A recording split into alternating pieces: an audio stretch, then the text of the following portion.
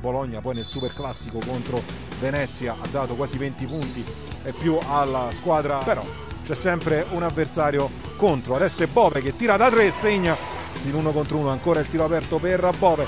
E altra bomba di Bove.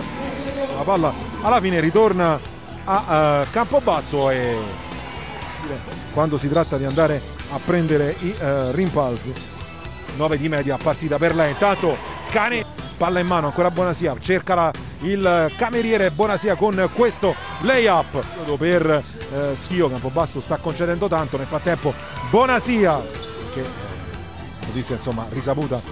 Purtroppo la settimana scorsa è venuto a mancare il fratello nel frattempo Dikvic un tetto abbastanza piccolo questo che adesso ha Sabatelli sul parquet. Questo è il tiro di Voita e infatti arriva il canestro. Ancora Bonasia passa sul blocco tiro non semplice però buona ora Voita Voita vuole il tiro da tre il tiro c'è c'è il canestro. Qualcosa il tiro da tre da parte di Voita altro canestro dell'americana. 100% da linea da tre.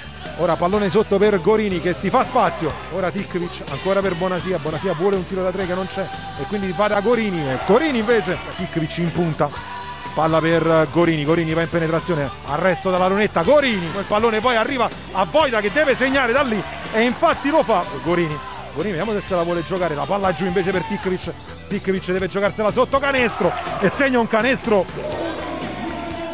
davvero difficile qua. Ora Bonasia prova a correre, c'è un cambio, un mismatch contro Keys. Allora si rifugia da Dikvic che deve giocare sotto canestro. Movimento purissimo. Errore con Voida che va al tiro da tre punti. Voita con Voida che cerca ancora Bonasia. Il tiro da tre da parte di Bonasia. Bonasia. Tikvic. Tikvic uno contro uno, ancora Tikvic si gioca questo possesso Tikvic poi Voida Voida vorrebbe forse il tiro da tre si arresta il tiro di Voida c'è c'è il pareggio! Pubblico o meglio le poche persone presenti qui si alzano in piedi e applaudono perché davvero Campobasso ha giocato una partita stupenda la Magnolia ha fatto una figura davvero spettacolare davanti a